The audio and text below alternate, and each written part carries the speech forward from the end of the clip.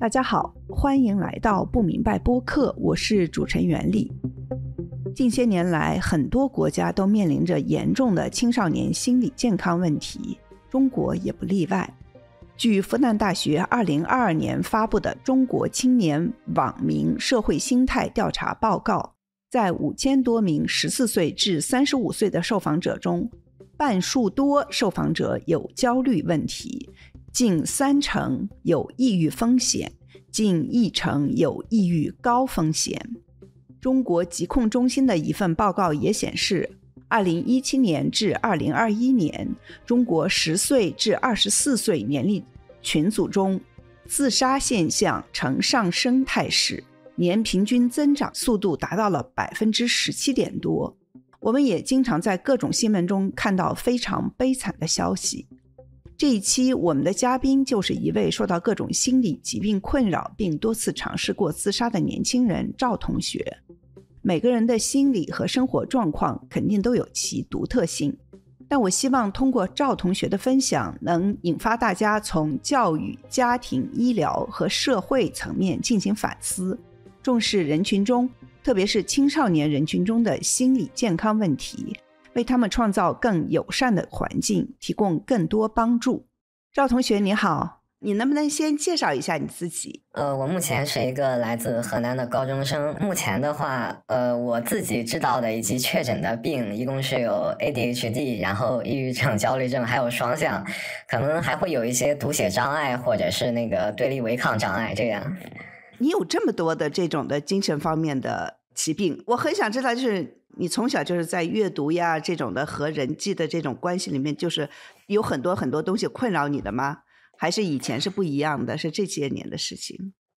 嗯，其实这些病还有以及我自己所知道的，是我自己在慢慢了解自己的一个过程。因为从小的话，我们信息封闭，然后我爸妈还有我学校以及社会给我的一个认知就是，就可能只是你皮呀，或者是你不听话，我们只有这种。其实这些病也是只有到我高中，然后才慢慢了解到的。但是我觉得当时我们确诊 ADHD 的时候是要写一个发育史，那写发育史的时候，我就回忆了很多。其实从小学的时候就可以发现，我妈妈跟我讲，是我小学，然后当时我其实自己也是记得的。小学的时候，我一个星期可以被请家长次数应该是五次以上。再有别的就是，我是那种班里的比较特别典型的异类。呃，基本就是比较在老师眼里的那种眼中钉的肉中刺 这样的感觉。上课的时候就是在那里乱动，然后经常爱说话、爱讲话。刚才说的你有那么多的症状，就说你的什么 ADHD、抑郁症、躁郁什么什么双向的这些，呃，还有阅读障碍，这些是医生都给你有诊断书的，是吧？对对对。你家里面会，比如说。最多一周要请五次家长的这样，你父母是怎么对待这样子的行为的呢？我的父母他们一直对我都实行的是那种高压教育，如果你调皮的话就是要打，你如果不听话就是惩罚，没有别的。我记得很清楚，就是在我小学五年级的时候，然后当时是在考试，我和我同学传了一个橡皮，我老师发现了，说我们交头接耳什么的。当时其实前几天我已经被请过家长了，我妈可能是有点暴怒的。她当时我们老师把我的卷子直接给收走，说你不用参加这次考试了。中午的时候就让我在校门口等着我妈，我妈进了校门就当着好多好多老师还有同学面直接上来给我一巴掌，对，好几巴掌。那你当时是一个什么样子的感受？嗯，我当时是很窘迫的。其实说到这种在公共场合下，我妈对我做这些事情，我可能我觉得我是已经习惯了的。以前有一次我在高铁站，在高铁站我和我妈一起在那调皮，我们两个就在那儿打来打去的。可能是我有不小心。我也是怎么回事？我碰到他的那个脸了，他当时就特别暴怒，在那个高铁站门口，他让我给他跪下，然后说让我给他道歉，特别大声的朝我吼。那你跪了吗？我只能跪。那那时候你多大了？那个时候我大概有十一、十二岁这个样子。天呐，你从小就是每周都会被打吗？对，每周应该都是会被打的。我爹打我的是特别狠，他可以把我给绑起来打，然后我们家有那种木棍，他就会让我落在那个床上或者是沙发上，然后就敲的特别狠。木棍。我记得应该是敲断了好几根，他后来因为木棍敲断了，就拿那些扫把，有那种铁棍，用那个铁棍来敲我。你觉得这些是和你后来的这种心理的状况有什么关系吗？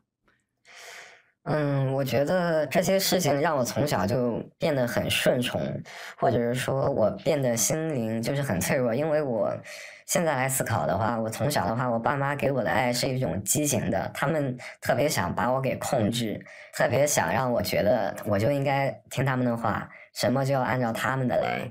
基本从小我的性格也比较是在男生中那种比较敏感脆弱的。我想问一下，就说，嗯，你父母他们也爱你，对吗？我觉得他们是爱的，对。嗯，我以前有听说一个，就是东亚的孩子就没法逃出一种父母的那种阴影，就是既觉得他们对自己的童年或者人生造成了一定影响，但是也无法逃出对他们的一种本能的愧疚，或者是一种。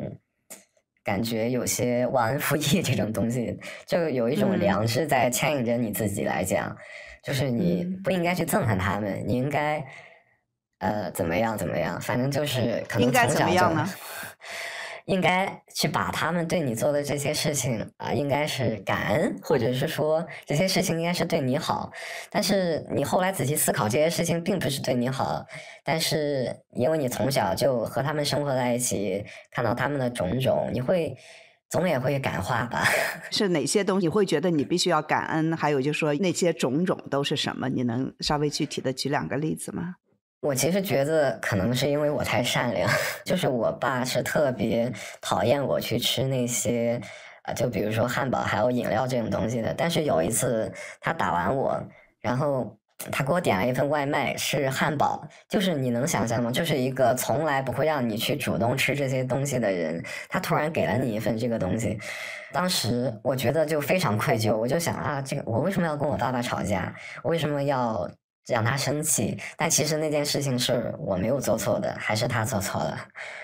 我可能觉得我的父亲是有些不太想表达自己的歉意。其实包括后来我确诊抑郁症之后，他只是有一些方面才向我慢慢坦白他的一些歉意。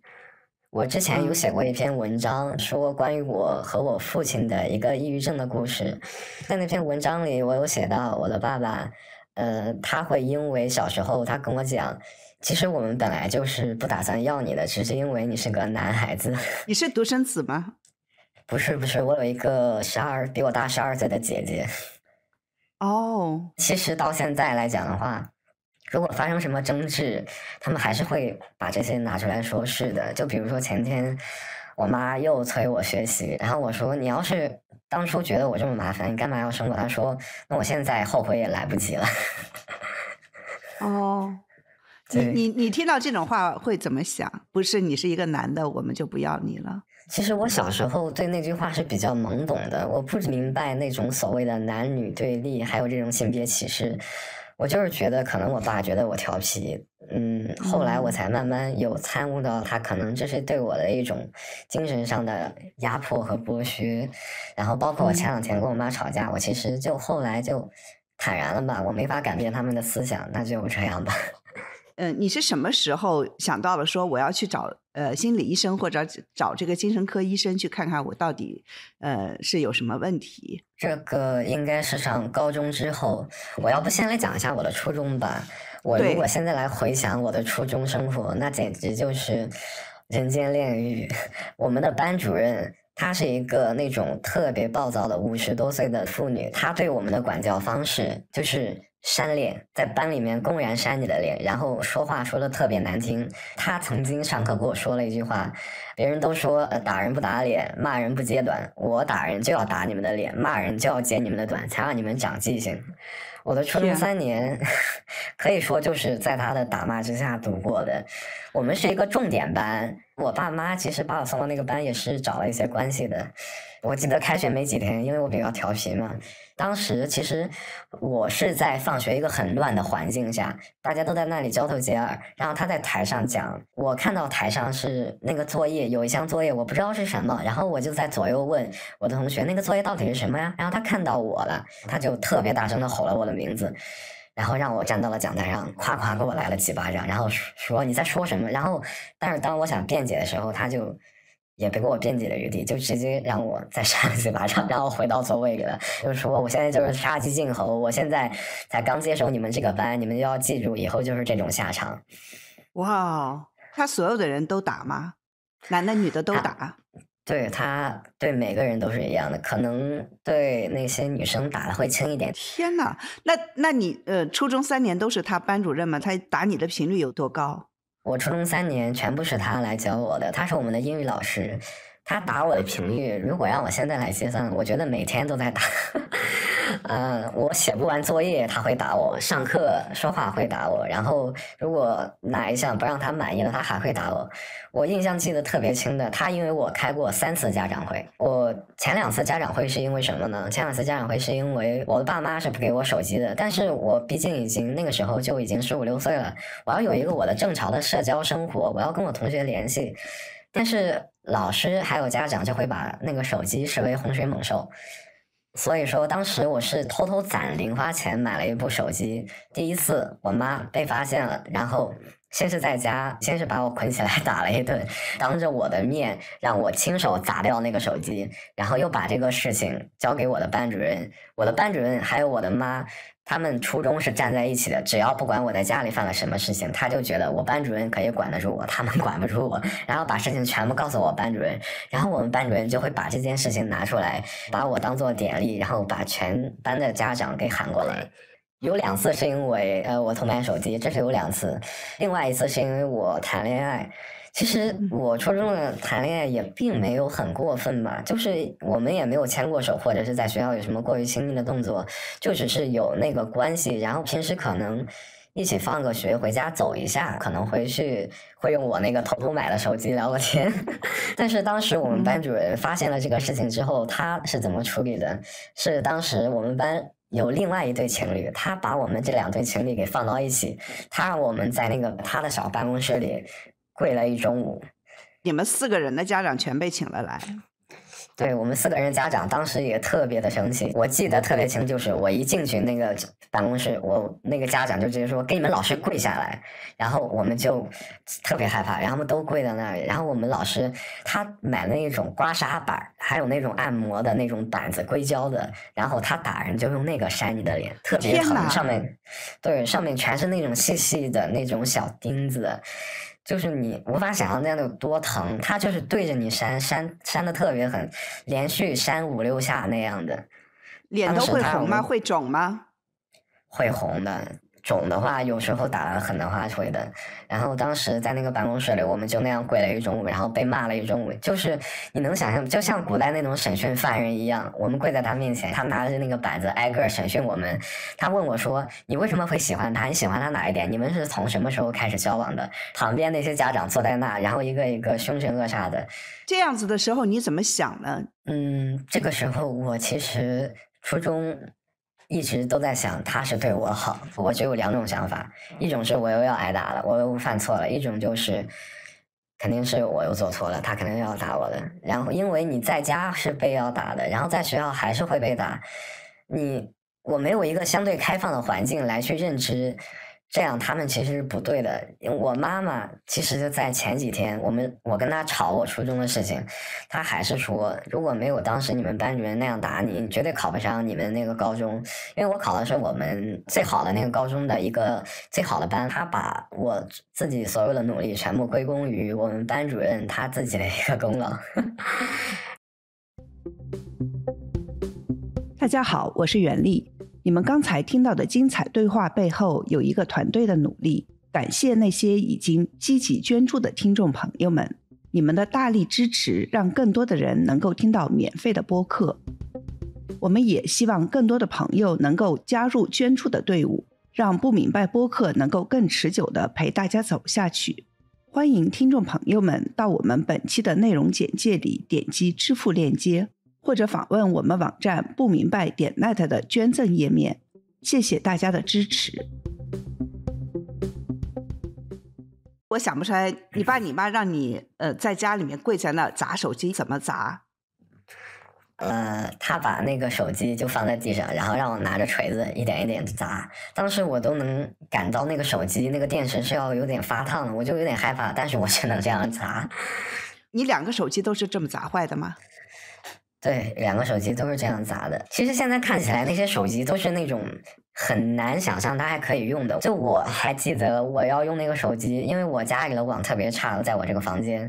但是我爸妈平时是不让我开那个门的，我就只能躲在我的那个门后，像一个下水道的老鼠一样，偷偷的听着外面的声音，去蹭那个我们家里的信号。然后就好多夜晚都是那样度过的。初中还有一些，包括我一些。是学校的同学的事情，我这种性格的，我一般是和女同学的关系比较好嘛。其实我当时也是不了解自己的一个性格，就是说我可能会比较讨厌一些人的什么行为，然后就和那些男生也有关系。但是他们其实现在想起来会做一些比较过分的事情，违反我原则的事情。比如是什么样子的事情呢？嗯，比如说他们会。偷偷的，呃，把我的东西给我偷走，或者是和我妈串通讲我干了什么，在学校干了什么坏事这样的。他们怎么会知道你妈需要这样的信息呢？我妈妈给我班级里的同学是一种什么形象呢？她就是管的特别严。还有一次就是我们初中要考体育嘛，体育校考，嗯，然后我们在当时一起训练，然后当时我的足球我没有进那个篮筐，然后我妈就当着。把我从那个队列里面直接拉出来，又夸夸扇了我俩巴掌。这有什么呀？这不是很正常吗？他觉得我违反了纪律。然后，所以说，关于我们那些同学，他们获得那些信息，告诉我妈，就是因为我妈平时在班里面就是以这样一个形象来示众的。其实现在回想初中的一些事情。我甚至到现在被我爸妈还有老师那样一个管教，我现在知道他是错的，但是我现在就是生不起来那种恨意。虽然我知道他们做的是错的，有很多很多事情看似很很小，但是积累起来，我觉得就是把我的这个抑郁症的一个情况给搭建起来了。嗯嗯，呃，刚进高中的时候是一个什么样子的心情？初中毕业那个暑假的时候，我爸妈还是对我施压，他们说你不能出去玩，你要上什么衔接班。当时我就特别生气，可能是因为真的就是我内心的那种反抗意识是终于长出来了吧。我就是说，你们为什么不让我出去？然后我看到我们同学他们初中毕业，家长给他们买了手机，然后他们可以出去玩，可以和同学一起联系。我就觉得特别气，特别生气。我就说我想出去玩，只是因为我中考完了，受了三年的压力，为什么不可以？当时我跟他们大吵了一架，然后把我们家里的好多东西给砸烂了。但其实 我当时砸完之后，我特别愧疚，我在我的房间里哭了有两个小时。最终我也是得愿以偿的。然后我爸。二零二一年那个时候，他把他一个特别破的 iPhone 六 S 给我，我说我想出去玩，他们就给我买了车票，我自己去了武汉还有北京这样。嗯，你自己出去玩？对，对。哇，那挺不错的，挺厉害的。嗯，对，那算是我自己出去的第一种尝试。我有一种清朝末年那种 魏源睁眼看世界的感觉，就是我突然 突然觉得，为什么这个世界？这么精彩！我初中天天在那个学校两点一线，我从来没有见过这些东西，我就觉得很奇妙。然后上了高中之后，我认识了很多有意思的人。我们高中是比较好的一个高中，然后他会有一些活动，我我就去报名，担任了我们学校的宣传部部长。从高一、高二、高三，我认识了好多好多人，就是直到现在，我们现在还都是在联系的一个状态。其实我的抑郁症有一个爆发的节点，就是。我高中谈了一个比我大的一个女朋友，当时是我认识一个学姐，我要借书，然后她又把她的书借给我。后来就是聊着聊着，她突然跟我说比较喜欢我，然后我们就在一起。她真的是，她后来带我见识了好多东西，她带我出去玩，我才知道我们这个城市可以有那么多的奶茶店，有那么多的品牌。在此之前，我只是知道一个。呃，很小很小的，我们一个本地的品牌。哎呀，他还带我去我们当地的一个博物馆，真的就是见证了好多好多有意思的事情。后来有一天，就是他跟我分手了嘛，他带我见识了好多从来不一样的东西。他会跟我一起出去玩，会牵着手，然后会在他小区楼底下抱抱我，会说我们两个一起要考哪个大学。他简直就是我的一个，我觉得就像我的引路人一样，就算是一个节点。我现在还记得很清楚，是三月，呃呃二十六号，我那个他跟我分手，然后三月二十六号之后，我情绪特别下降，然后我就去了那个我们本地的那个。精神病医院，其实当时在没有跟他分手前，我是有一些预兆的，包括我们学校的学习压力呀，因为大家都是每个学校特别厉害的那种人。我同学，我看到他们有吃一些抑郁症的药，还有焦虑症的药，他们就给我讲是有这种病的。当时我的心情也是比较一个压力特别大，也不知道要干什么东西。在那之前，你都不知道有抑郁症这这么回事儿，是吧？对对。我现在就觉得，我初中那些特别难受的时候，都是我在我的床上翻来覆去的睡不着。我唯一的依靠就是我跟我爸妈讲，我要听歌，他们才给我花五十块钱买了一个 M P 三。我下歌的途径也很困难，我们家的电脑他们不让我碰，然后我就去我同学家让他们帮我下一些歌。但是就只是听歌这个小小的要求，我记得我爸妈让我学习的时候。把我的耳机还有 M P 三给拿走，让我睡觉的时候也给我拿走，甚至是当时他们把我的 M P 三给我砸过一台。天哪，哦，那那你说到你高中的时候，你发现周围有有同学，他们就也有焦虑症、有抑郁症，他们还有人吃药的，你才知道有这种事情存在，然后你就去了一个你们附近的精神病医院，是吧？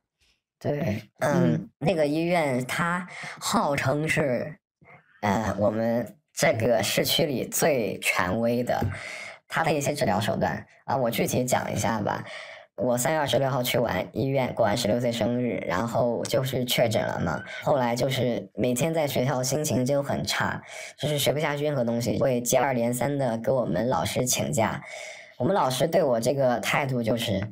想那么多干嘛呀？才多大的人，然后就是有什么能有什么心情了？就每天他会对我进行一些精神的 PUA，然后放学会把我单独谈话。就是最后那几天，他就是逼着我说：“你如果再这样请假下去，你就只能给我办休学，或者说你从这个班级里出去。”我爸当时也是在逼我，就是说他以为呃把我送到那个精神病院是有那种封闭病房的。他说：“你如果……”不去上学，我就把你给送到那个精神病院的封闭病房。他们就这样逼迫我，然后我当时也是一种比较摆烂的状态。我说那就行吧，那既然这样，你们我就买你们的意。其实到后来，我把我送到那个医院之后，我是没有进那个精神病房的，因为那个医生他给我评估说我没有那么严重，不需要。那一段时间真的是我过了一个很灰暗的日子，大概有半年左右。就是每天我睁眼醒来，大概有十一二点那个情况，我不知道要干什么事情。我把我的药给吃完，然后就躺在床上。下午的时候，我爸会带着我去医院做一些治疗，但是我觉得那些治疗现在来看其实是没什么用的。他会，呃，叫什么治疗？叫做金磁炉，就会。一个类似苍蝇拍的一个东西，会通电放在你的脑子上面，然后他说可以促进多巴胺的分泌，但是其实我做了那么多治疗，并没有什么用吧。还有就是他会给你针灸在你的脸上的穴位扎进去，然后再通电。我现在就觉得这不是美国的圣伊丽莎白 精神病院。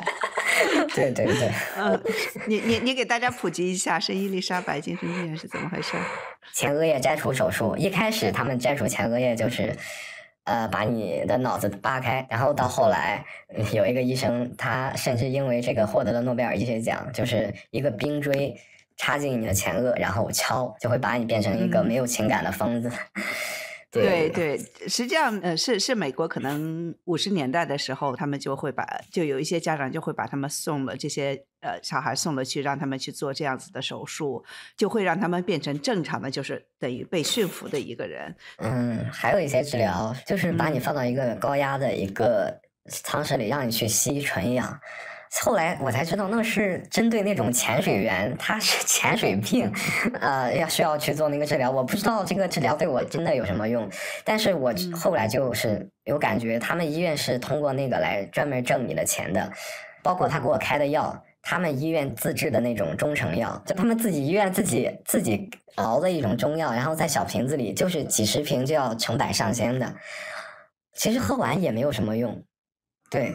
对呀，我觉得后来真正对我有用的，可能就是一些安眠药这种是对我有用的。其他的药物我试过之后，都是嗯，感觉是没什么用。但是他们有诊断，你说你有抑郁症、焦虑症什么，这这些都是这个医医院诊断的是吗？对他们所谓的诊断方式也很普通，就是会让你做一些表格，然后会问你。最近为什么心情不好？我觉得国内的基层的精神病院的医生，他们都是拿着一个从一个医学院毕业的文凭，也不会去跟进最新的医疗信息，就是把那个当做铁饭碗来挣钱。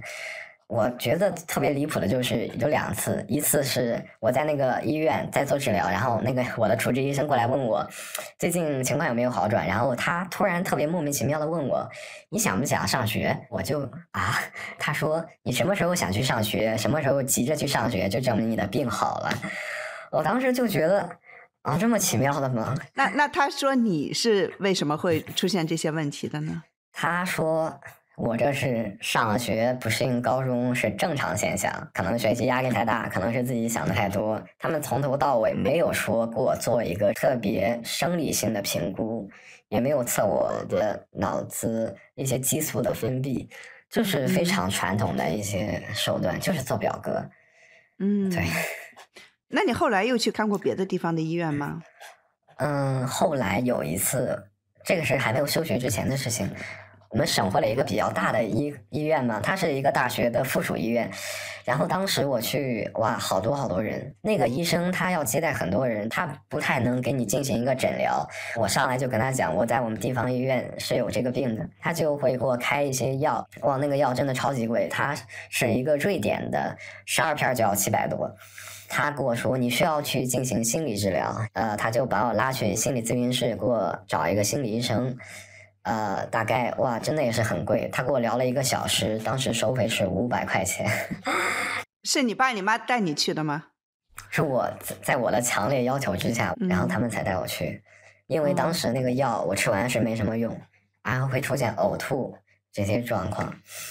其实当时我觉得那个医生给我做的心理治疗是挺好的。但是后来我爸妈就会说，这个可能是不是太贵，或者就是他们固有的认知就是你还是自己想的太多，还是你自己不好好学习、不努力，这样来的。就是这个心心理医生，你做过几次？你觉得他不错？我只做了一次，因为后来他们不再带我去了，他们后来就直接让我住院了。但是他当时，嗯，对，当时那个医生是一个很慈祥的，嗯，很慈祥，大概有五十多岁，他就给我分析，让我讲自己的一些经历，还把我爸爸妈妈拉进去跟他们聊要怎么办，嗯，是挺有用的。然后他跟我说，你需要以后每次大概隔一个星期来跟我聊一下。但是后来也没有，我爸妈就把我直接送到医院了，也没有什么。对，送到医院就你们当地的那个医院让你去住院。对，住院做什么呢？因为当时疫情，以先给你做核酸，做完核酸之后呢。他会给你做心电图，然后会给你排一个脑部的核磁共振，但是这些后来也没有说有什么用。我觉得可能就是他们需要赚钱，还抽了我两大管血，我也不知道是干什么用的。每天在那个医院，医生给你分发一些药让你吃完。呃，中午的话，他会给你做一些什么游戏啊？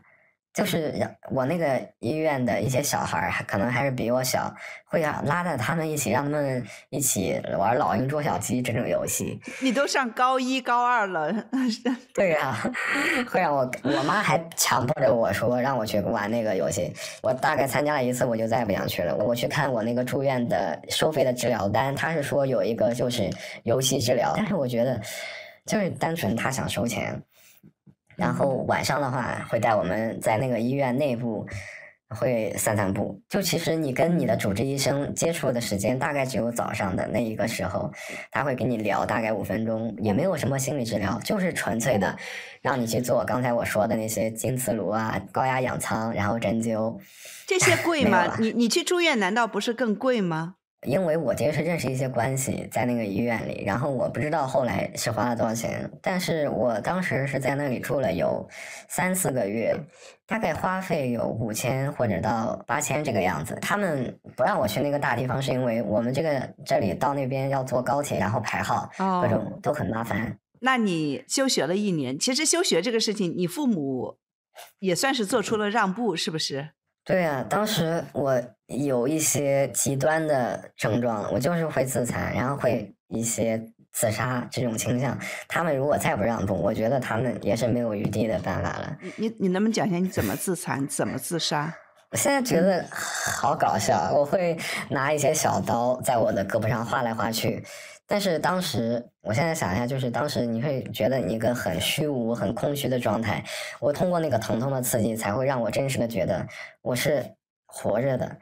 自杀的话，我有尝试过跳楼，但是比较好玩的是，我从六楼跳下去了，我掉到了五楼的平台。不好意思啊，其实不应该笑，但是有点可笑，很地狱的一个笑话。然后还有一次就是我。吞服了，应该是有呃将近一瓶儿的褪黑素，然后当时晕了一天，没事儿，没死。第二次我说一瓶儿不行，那吞两瓶儿吧，然后就吞了两瓶儿，还是没事儿，就是一直在我肚里躺着，没有去洗胃，就很头昏的待了两天。后来有一次我买了一板头孢，然后喝了一点我爸的酒，但是真的很神奇，我不知道可能是他真的不想让我死。就是每次自杀都没有去医院有什么处理，就是没有死掉。哦，那他们都知道吗？嗯，他们可能知道的有一两次，别的时候我没有告诉他们，他们也会不知道。嗯，那他们怎么反应？可能是他们不会太表达。我我是感觉他们肯定是会担心的。我吃药了之后，是我同学，我跟我同学讲我吃药了，然后我同学联系了我爸，然后他过来。夜里突然醒来跟我讲要不要去医院看一看，然后也没有说别的，然后后来第二天早上醒来又问我要不要去医院看一看，后来有一天他跟我说要爱惜自己的生命什么东西的。那是你高一时候的事情是吗？嗯，对，高一休学之后。那你呃休学了一年以后，你愿意回学校吗？嗯，我觉得我是一种处于被安排的状态，我不是很想回学校，但是也没有办法。因为我爸他催着我回学校，我休学之后从医院里出来，大概有三四个月那个样子，就每天你一醒来，他们就会说你是一个罪人，你辜负我们的期待啊，这种种种类之类的，会说你为什么不好好上学？为什么别的孩子都可以在学校里怎么怎么样？就你都已经是得了抑郁症了，他们还这么说你啊？对。然后他们也知道你自杀过。对对，我觉得他们始终是无法摆脱，因为我姐，我觉得她可能是有一些轻微的阿斯伯格症，她跟我们家里的关系就是也不是很乐于说话，然后她每天也是很把自己闷在家里，她属于是又是那种在中国很典型的那种学好学习好的小孩，本科上了一个九八五的大学，然后。研究生他申请的是澳大利亚的一个 QS 全五十的大学，但是他最让我不理解的一点是他有了这个两个学历之后，他来到了我们本地当了一个公务员 他学的还是工科一类的，我觉得他这个学历拿到别的地方，甚至他待在海外都是一个很好的踏板，但是他就是为什么要回来待在一个公务员？嗯，对对对，我还想问你一下，就说你跟我说你爸妈。到现在还觉得你的病是装的，他们他们他们真的这么跟你说吗？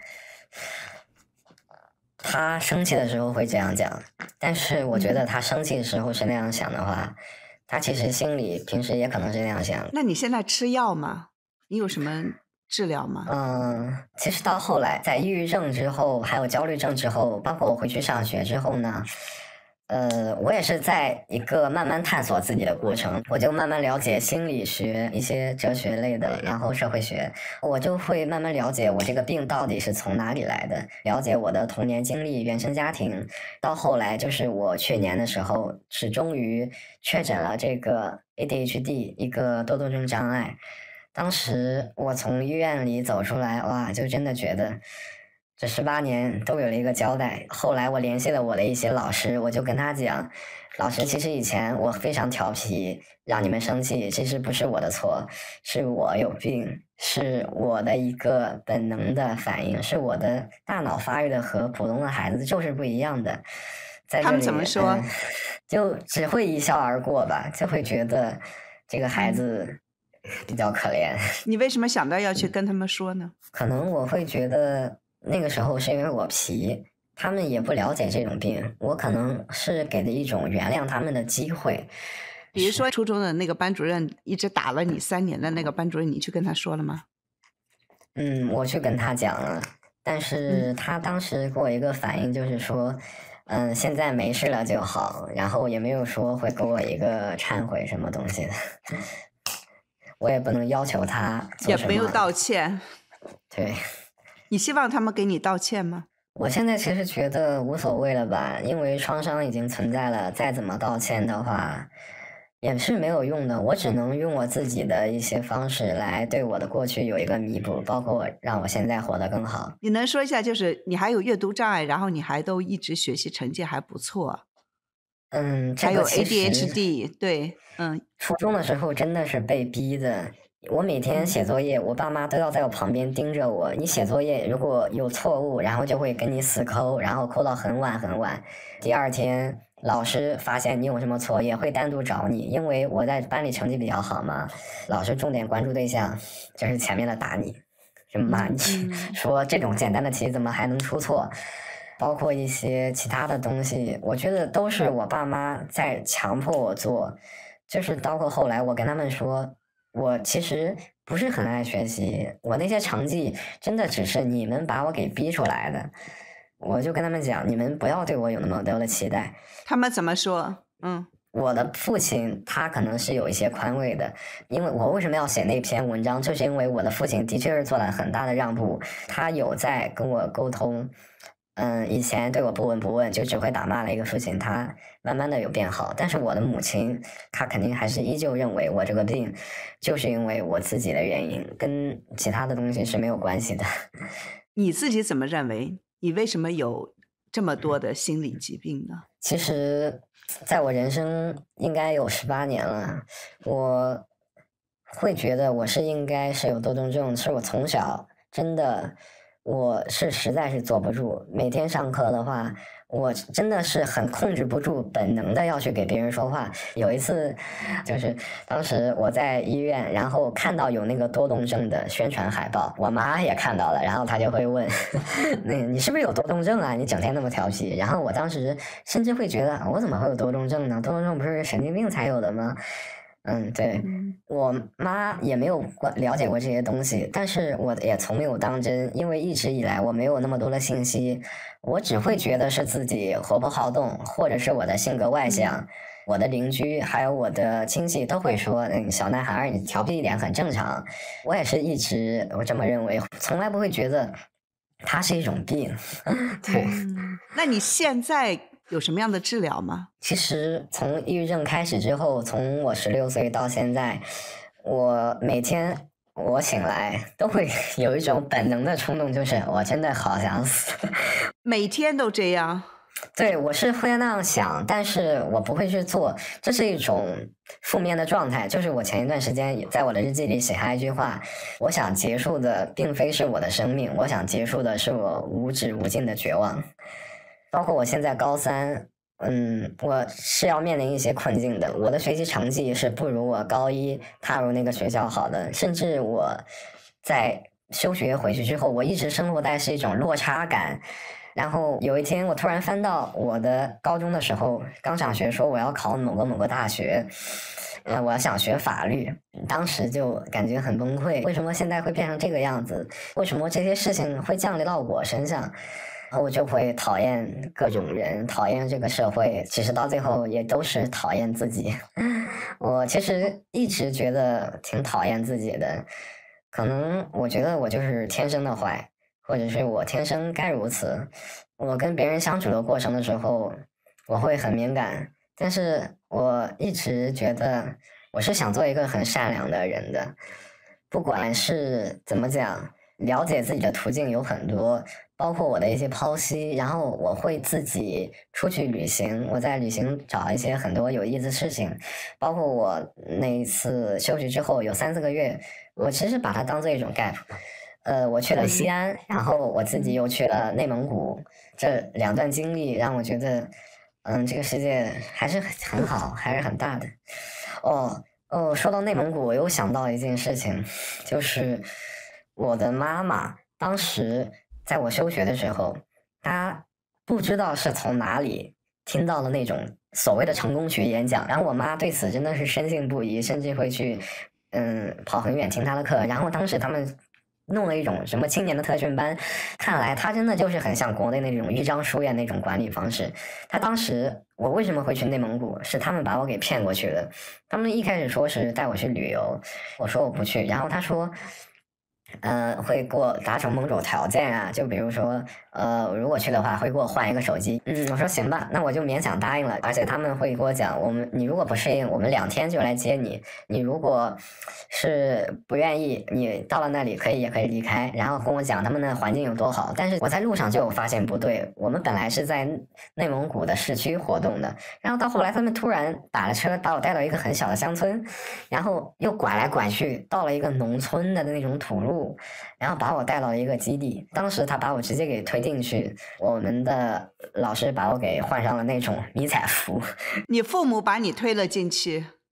对，我后来看到他们就在跟我老师聊天，然后后来他们两个就直接走了。当时真的很生气，我说我没有答应，为什么要让我在这儿？然后你们跟我说这是宾馆，很好的设施，为什么这样差？然后每天吃的也不好，什么也不好。然后我就晚上跟他们打电话讲，然后他们就说：“你你好好进去受点苦，你的病说不定就会好了。”哎呦，当时我真的是特别崩溃。我在那个地方，你知道那种成功学演讲对我这种比较清醒的人是很痛苦的一种折磨。他每天都在讲自己有多厉害。你能说一下是是多大的一个人？然后呃，那训练营一共有多少人？大概其实那个班里应该有二三十个人，我甚至有一些你知道很离谱的，就是大概有十岁的小孩子在那个会场里面，就是无法控制自己乱跑的，他仍在上面泰然自若的抢那些东西，我不知道他到底是讲给谁的，我觉得他就是骗钱的。呃，年纪大的有呃有多少呢？跟我同龄的大概有三四个，呃，我后来也知道他们为什么会去那里乖乖的上课了，因为他们是衡水中学的。Oh my god！我觉得我们的听众差不多都应该知道衡水中学是怎么回事。不知道的话，还是应该去搜索一下，这是一个很神奇的学校。然后后来还有一些很离谱的，什么感恩教育，就是你有没有见到过国内就那种军官？嗯，他演讲的内容真的就是一个背下来可以用好多 遍的，然后他就会一遍一遍的重复那些东西，直到那群孩子哭哭啼啼的说：“你的爸妈呀，你们这个孩子，想想你们爸妈为你做了那么多，你们现在为什么会变成这种样子？” 哎呦，我现在在看那些东西，我都觉得，你有哭吗？你当时有感动吗？我从小。受到这些训练的时候，我都觉得很好笑。我觉得他们这种人的演讲就是一些毒鸡汤。我自己活得好，我自己知道，为什么要让别人来告诉我？那你在那待了多久？对，后来后来就是比较有意思的就来了。我逃跑了两次。第一次我哇，当时真的是人生地不熟的，我根本不知道这是哪里，我就沿着那个土路走了出去，沿着县道一直走，一直走，走到了晚上，突然找到一户人家。我都想，我爸妈那么长时间，我们老师肯定也通知他我跑了，他们肯定会来接我吧？我觉得我的这个做法已经够极端的了，我就找了一户人家，接了他们的电话，嗯，然后他们就给我打了电话，我也就直接往回走，他们那个车就来接我了，把我给送了回去。我爸妈给我承诺的是第二天来接我，但是到了第二天晚上。他们还是没来接我，我当时就很生气。又一次的，我给我爸妈打了电话，然后他们说：“你把这个上完，我们再去接你。”你看你还是那么不听话，哇！我真的那一次是真的崩溃，我在屋外面哭了好久。然后他当时也又把我的手机给我收走了。第二天的时候，我就提前踩点，然后看哪里有监控，然后从哪里可以逃出去。这一次我逃出去之后，我换了一个方向。我就还特别害怕，他们如果发现我不在了会来找我，我就一直跑，跑得特别快。当时就有一种真的是越狱的感觉。然后直到我跑到那个特别大的一条马路，哇！我当时看到阳光，还有什么那些大货车往来往去，我就突然有一种那个肖申克从那个下水道里爬出来的感觉。哦，真的是，哦，我就觉得啊，这终于可以安全了吧。然后我沿着那个信道走了好久好久，路上我也没有钱，我也没有手机，我就问他们卖瓜的说去哪里可以去县城，就一直走一直走，走到了县城。我记得我当时是拿了一本书，走到那个县城已经应该是走了三个小时，当时还是四十度的天，特别的热。我的妈呀，不知道当时怎么过来的。然后我走到了，终于走到了那个德克士一家嗯快餐店嘛，我就在我那个德克士里面一直看那本书，嗯，那本书叫做《苏菲的世界》。到后来到了晚上，我就一直思考要不要给我爸妈打电话。到了晚上，我觉得实在是可能憋不下去了，然后我就借了那个店员的电话给他们打。他们大概会花了三个小时，是终于从。他们住的那边赶了过来，把我给接了回去。但是我真的很不理解我父亲的一个做法，就是他为他这件事情之后，从来没有提这段经历。他只是说从那个学校里我学到了什么，然后让我好好用。他只是说你作为一个人要有责任，然后其他的他是一句也没有提。这是你休学完，呃，那个暑假去的是吗？对对，那你还是看了挺多书，你会去看《苏菲的世界》，你你的这些想法都是从哪里来的呢？其实，在休学之前，我已经是有了解到一些东西了的。其实我有一个浅薄的政治意识，我现在也比较感谢我那个网课老师，他在给我们讲那些政治课本的时候，他不会局限于政治课本上所教的内容。他就会给你讲一些比较包容的思想，比如说他会跟我们讲一些逻辑谬误，谬误会跟你讲，作为一个人，你呃要说话不要去嗯攻击人身，然后需要就观点说观点。我甚至后来去分析一下我自己，我那一段时间，我觉得我是有变成小粉红的一个状态，我会我会在 B 站上看一些呃什么苏联。然后我说自己是个京苏啊，然后夸中国怎么这么好啊，然后去 骂美国。我后来觉得现在好蠢，因为我的信息接触的还是比较有限。但是我的那个老师毕竟是有一些让我们独立思考的东西嘛，呃，我会去慢慢的扩展更多。我们学到那个政治的必修三，我突然就觉得。这本书上说的东西和我身边好像不是很一样的吧，然后就慢慢的搜索一些途径，然后了解一些历史。就是我的同学，他当时要建一个群，他们班级是六四班，他在那个群 群名称一直输六四，就是输不出来。然后我们俩，然后 对，就慢慢了解呃有外网这一件事情。你怎么能上外网的？嗯。呃，其实一开始是比较不太懂是怎么来的。我记得第一次上外网是我同学给我讲，外网有很多东西和国内是不一样的，然后我就自己去探索，然后到后来一直一直发展。其实我给你写私信的时候，你知道我是在干什么吗？我是在上我们的政治课，我在听着不明白博客给你写私信。那你呃，你现在和父母的关系是一个什么样子的关系呢？可能我跟我爹的交流是比较多一点的，包括我现在。的面临的一些困境，我现在就在思考我要不要去国外读书。但是，呃，我妈就对这些东西她很反对，就是她，我妈和我姐都是那种特别极端的民族分子。就是有一天我在我们饭桌上说了一个观点，关于六四的，我姐说：“你如果以后。”跟我的这个立场不一样的话，我们以后就是要断绝关系，你不要影响到我的升迁的一个结果。我就不知道他在澳洲读了三年学，澳大利亚对他到底干了什么？他有他有谈过吗？他没有聊过我，我唯一知道的是他给我讲是有法轮功会在街上宣传，别的是他没给我讲。那你和你妈妈的关系其实还是挺紧张的，是吧？对，就是很紧张。我说我想去日本留学，他一下子就急了。他说日本对中国怎么怎么了？他说你如果留学死在外边，我们家不管你。说外国哪有中国好啊？我跟他讲外国的一些福利制度，跟他讲就业情况，然后他就完全不听了。说你你要是觉得好，你就以后再也不要回来。你其实是嗯，最早给我发私信是六月份，是你对这个高考制度的绝望，尤其你们那个省份是高考特别卷的一个省份，对吧？对，我这个学校还比较好，因为我们早上是六点四十要到班级里，一天上午是要上五节课。从六点四十到七点半是早读时间，然后一上午上完五节课，上到十二点，上完十二点你可以去吃午饭。下午你两点就要起来读书，读到两点半，然后上课上到晚上的六点，然后可以去吃饭，有半个小时。但其实这个时间是一直在压缩的。到了高三的话，我们就只有十五分钟了。我现在一直就是吃饭很快，就是因为当时我们在那个比较好的班级里，他离我们的食堂特别远，我们老师又只给我们从高一就只十五分钟的时间，吃吃完饭要回去上自习是吗？对，上自习是要上到十点半。天呐！我们这个市区的高中还算好的，我们从高一休息的时间的话，可以是从星期六的晚自习到呃星期天再回去上晚自习。我们周六是要上课的，但是我所了解的，我们县区的一些高中，他们是早上五点要起床，然后开始跑步，然后一上午是上五到六节课，一周是一直没有休息的。他们基本是一个月最多放两天，像一些比较变态的话。可能两个月、三个月才给你放一次。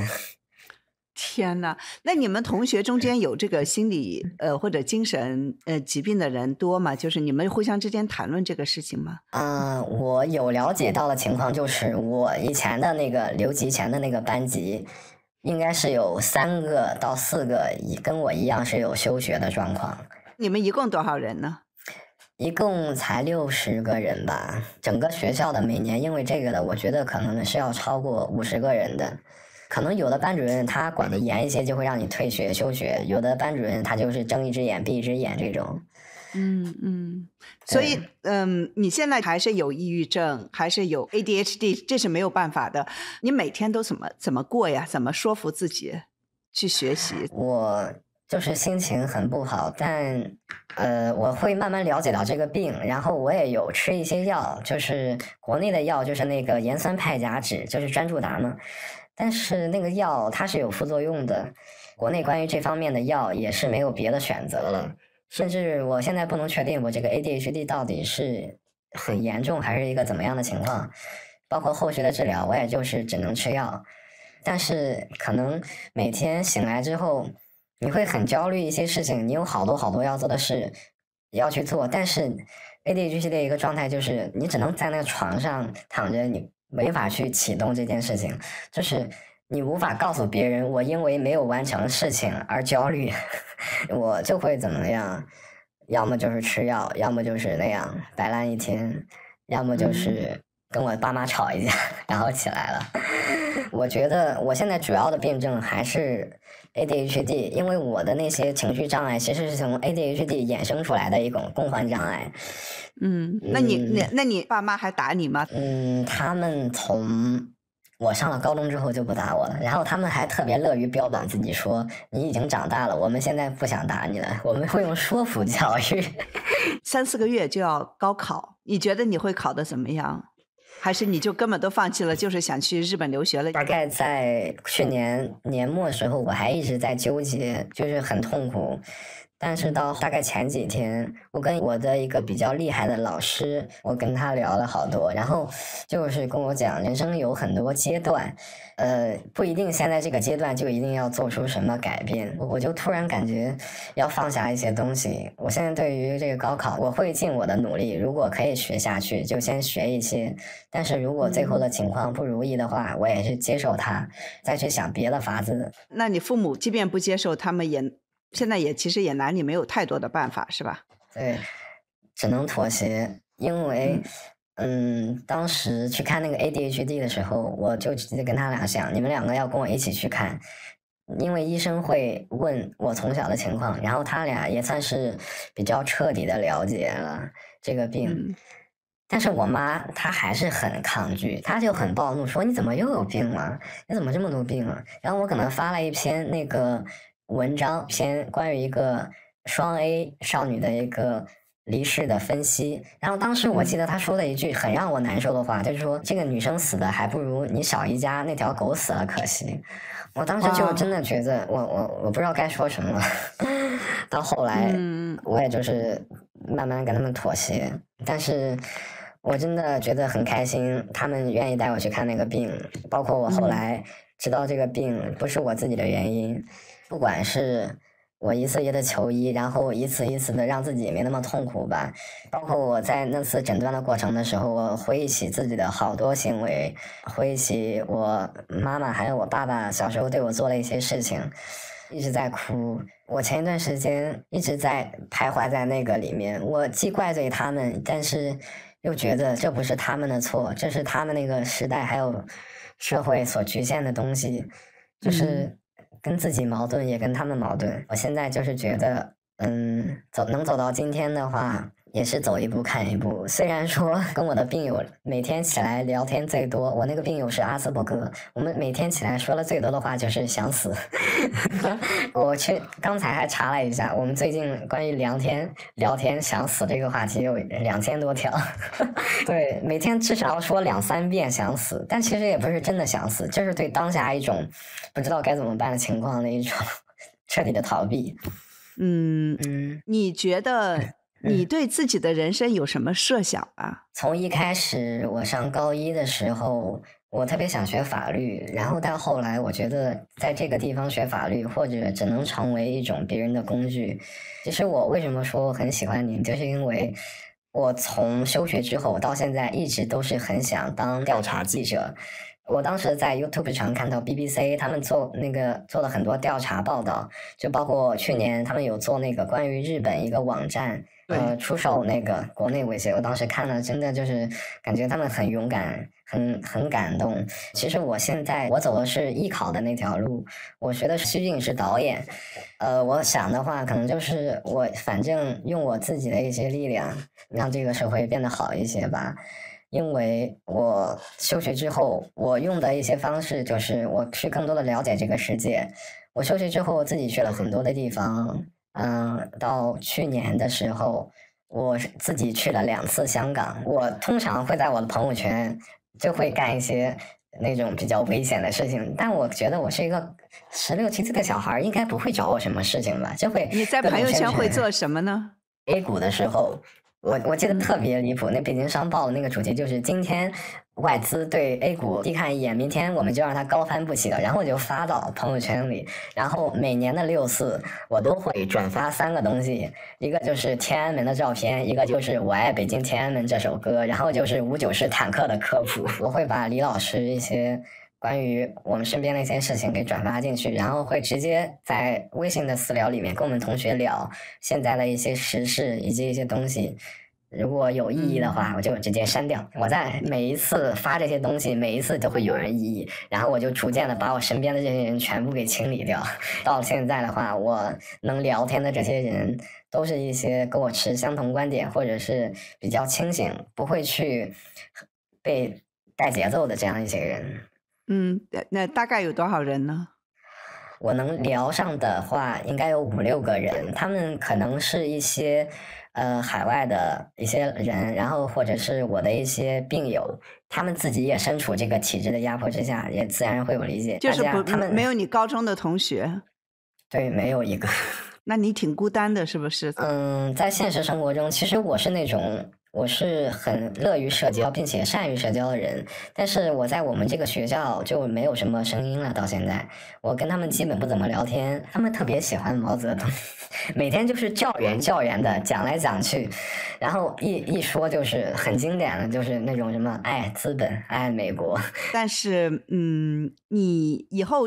呃，是你是下了决心想要出国吗？我如果本科实在是出不去，我研究生也要出去。我反正最终目标肯定是要在海外的。嗯，在国内的话，我会力所能及，然后帮一些底层的人发一些声音吧。因为我本身干的就是传媒行业的。你有没有推荐书啊，什么什么之类的？啊，我我想给大家推荐一个歌，那个歌是黄伟文创作作词，然后谢安琪演唱的《佳明》。他的歌词总体是含沙射影六四，但是他给我一种就是非常优雅的感觉。我记得他的歌词里面有讲，他出发找未来，今天也未回来，留低哪种哪种意义，就看世间怎记载。对我就觉得这最后两句话很触动我。我觉得这首歌，嗯，给了我很大的一些力量。包括他们在反送中的时候也会放这首歌。我想想那句歌词是怎么讲，呃，谁若呃谁若碰到他，还望将那美意带回家，然后流落野外恐怕太快，叫他太化。谁若碰上这个他，能为他了了了这小小心愿吗？无力协助他嘛，也愿你任由他骑这世上最终一只白马。就是说，你可以不理解，或者说你可以不知道他们在干一些事情，但是当你。确切的知道他是在为你发声，在为你做一些改变的时候，就愿你任由他骑上世界上最终一只白马。无论你是爱他不爱他，还是可将那勇气带回家，时代遍地砖瓦，却欠这种优雅，叫人梦想不要去谈代价。哦，真的不错，谢谢赵同学，也谢谢大家收听，我们下期再见。